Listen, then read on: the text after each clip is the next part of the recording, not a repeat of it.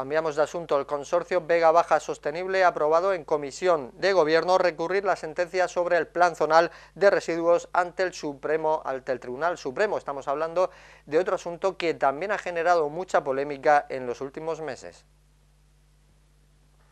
El Consorcio Vega Baja Sostenible ha celebrado esta mañana una comisión de gobierno con carácter de urgencia para aprobar diferentes temas que se ha aprobado por unanimidad, todos ellos, entre los que destaca el recurso de casación ante el Tribunal Supremo sobre la sentencia referente al Plan Zonal de Residuos.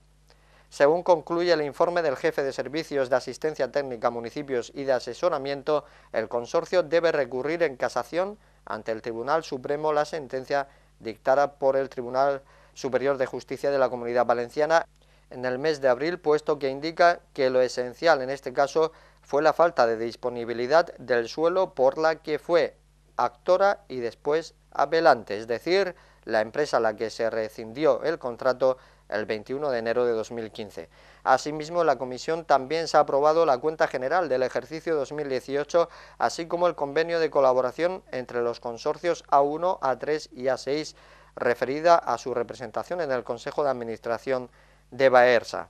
En este sentido, el presidente de la entidad, Manuel Pineda, acudió ayer a una convocatoria de la Junta General Ordinaria de Accionistas de la entidad pública en la que se trataron diferentes asuntos, entre los que destaca la aprobación de cuentas anuales.